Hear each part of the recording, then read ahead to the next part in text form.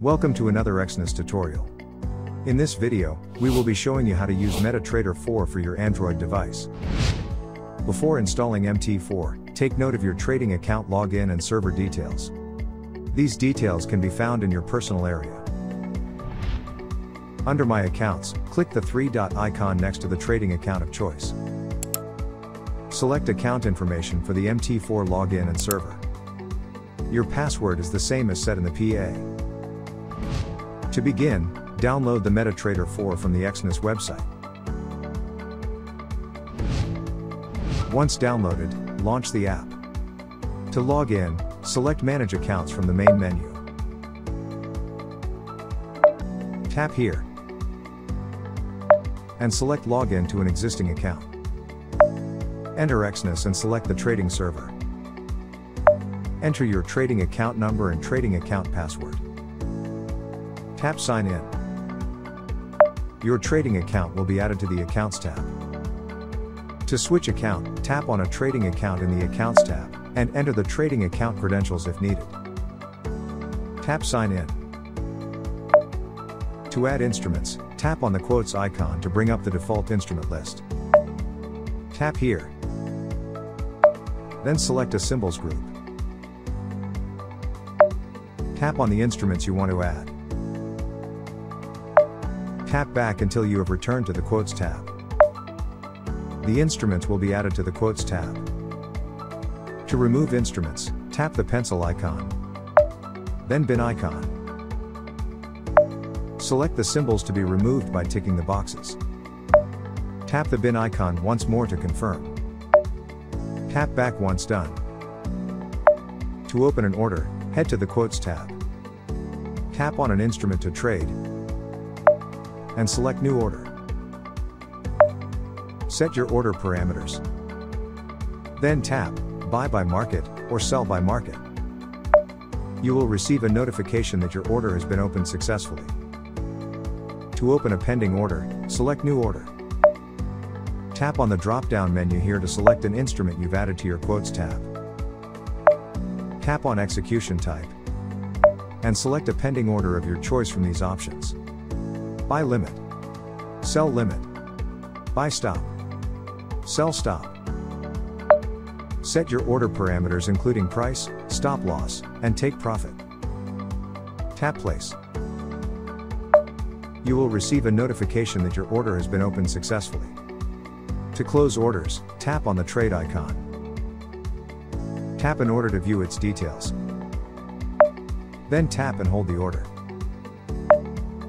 Select Close Order. On the next page, tap here to confirm the action. If the order is being closed at a profit, the confirmation button will be close with profit. If the order is being closed at a loss, the confirmation button will be close with loss. To modify orders, tap and hold the order. Select Modify Order. Change the settings presented and tap Modify to confirm. You will receive a notification confirming the action. To open an instrument chart, go to Quotes. Tap on an instrument and select Open Chart. To change chart type, tap Menu. Then Settings. Tap Line Type.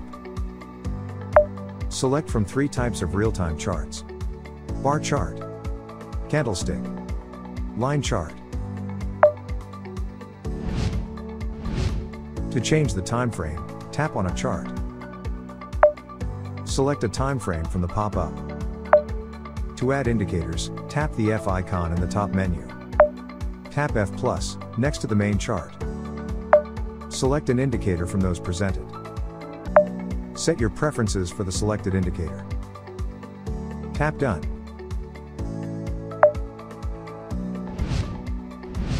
To open the journal, tap on Journal from the menu here.